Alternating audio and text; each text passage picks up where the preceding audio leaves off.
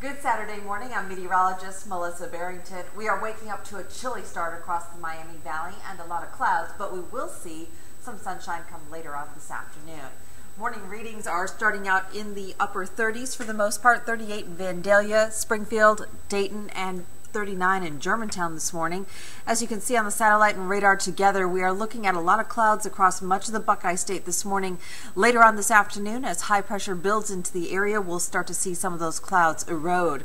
Your hour by hour forecast for today starting out in the 30s, and then later this afternoon, we should top out in the lower 50s. Lots of activities going on across parts of Ohio today. If you're going to the Ohio State game, it's going to be a chilly start with that first kickoff at noon, about 47 degrees. We'll see an increase in the sunshine later on during the game.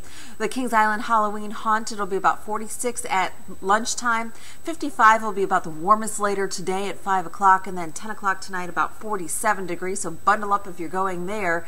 And the Sauerkraut Festival going on today in Waynesville, 55 degrees later on this afternoon, but again, starting out chilly, lots of morning clouds, and then we'll see some sunshine later on this afternoon. Future track showing those clouds hanging in tough through the morning hours, clearing out by around 3 o'clock. But then overnight tonight, the clouds come back in.